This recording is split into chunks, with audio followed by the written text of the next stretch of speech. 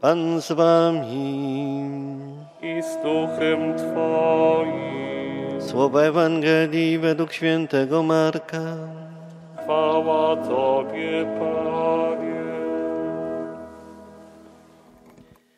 Jezus i uczniowie przyszli do Betsaidy. Tam przyprowadzili mu niewidomego i prosili, żeby się go dotknął. On ujął niewidomego za rękę i wyprowadził go poza wieś. Zwilżył mu oczy śliną, położył na niego ręce i zapytał, czy coś widzisz? A gdy ten przejrzał, powiedział, widzę ludzi, bo gdy chodzą, dostrzegam ich niby drzewa. Potem znowu położył ręce na jego oczy i przejrzał on zupełnie i został uzdrowiony. Wszystko widział teraz jasno i wyraźnie. Jezus ode odesłał go do domu ze słowami: Tylko do wsi nie wstępuj. Oto słowo Pańskie.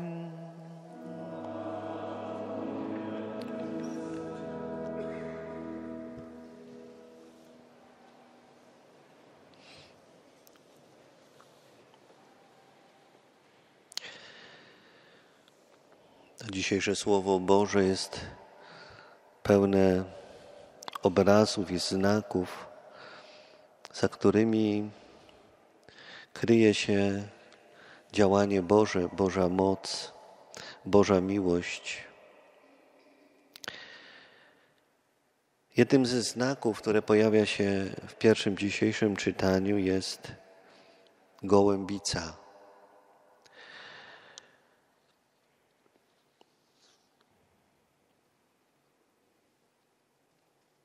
Mojże, Noe wypuścił gołębicę po raz pierwszy i ona bardzo szybko wróciła, bo ziemia była zalana wodami. I myślę, że ten obraz nawiązuje, może, można go łączyć z początkiem stworzenia, kiedy Duch Boży unosił się nad wodami, a gołębica jest znakiem Ducha Świętego. Pamiętamy, że Duch Święty stąpił na Jezusa w Jordanie w znaku gołębicy. Jakby autor natchniony nam, chciał nam powiedzieć, że Bóg chce stwarzać świat na nowo, że woda potopu oczyszcza świat tego, co złe, po to, żeby stworzyć świat na nowo.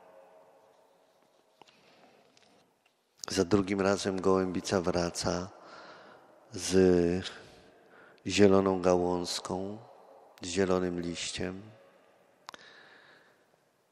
I czcimy Ducha Świętego jako Stworzyciela. To może być znak Ducha Świętego, który jest Stworzycielem, który przynosi życie, który przynosi świeżość. I w końcu za trzecim razem gołębica nie wraca. Tak jakby Słowo Boże chciało nam powiedzieć, trzeba poczekać na inne, nowe wylanie Ducha Świętego. I rzeczywiście ono się dokonuje, dokonuje się podczas misterium paschalnego i w dniu pięćdziesiątnicy. Bóg wylewa obficie Ducha Świętego.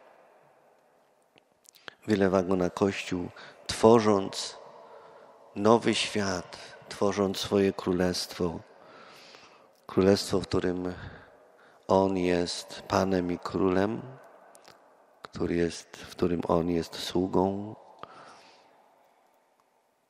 Królestwo, w którym najważniejszym prawem jest miłość.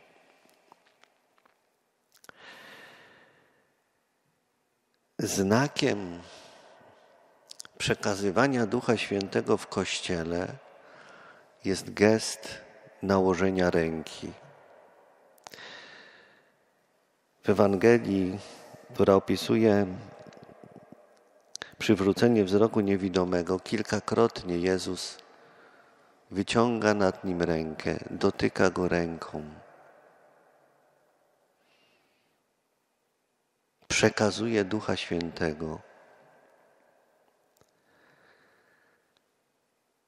I to przekazanie ma podwójny wymiar, bo za pierwszym razem Jezus zwilżył mu oczy śliną, położył na niego ręce i zostało, można powiedzieć, takie dokonało się uzdrowienie zewnętrzne. On zaczął widzieć, ale nie było to jeszcze widzenie pełne niedoskonałe, a może tylko zewnętrzne. I potrzeba było dalszej interwencji, następnego dotknięcia jego oczu.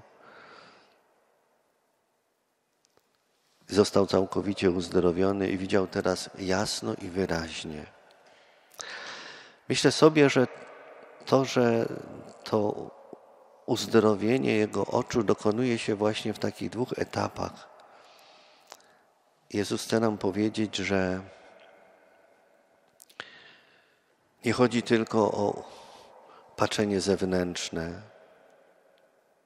Okuliści teraz mają ogromne możliwości leczenia chorób oczu, ale chodzi o coś znacznie, znacznie więcej. O widzenie jasno i wyraźnie, to znaczy takie widzenie, jakie, jakie, jakie jest w Bogu. Widzenie nie tylko tego, co zewnętrzne, ale widzenie serca, widzenie wnętrza człowieka. I takie było patrzenie Chrystusa.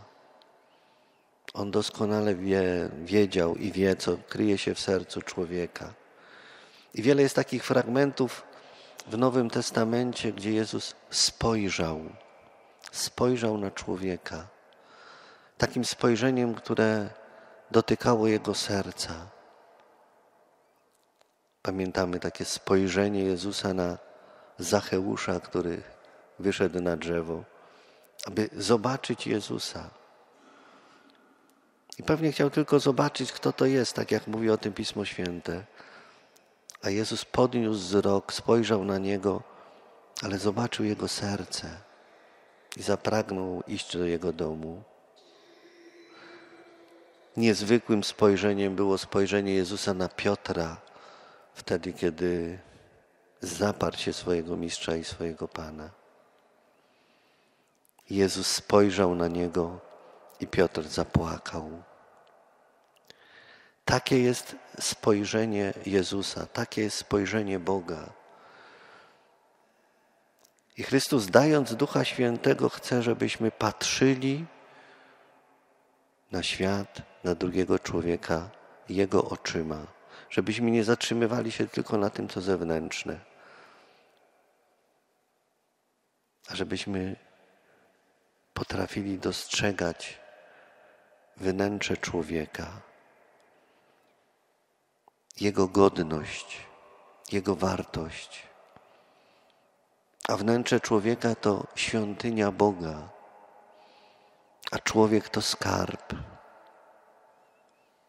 Prośmy o to, aby Duch Święty dotykał naszych oczu, abyśmy umieli patrzeć sercem, abyśmy umieli dostrzegać w drugim człowieku Jego godność i Jego wartość, żeby nasze oczy i nasze patrzenie było właśnie takie jak patrzenie Jezusa, aby to On leczył nasze oczy i abyśmy potrafili w taki sposób jak On patrzeć na świat i na innych ludzi.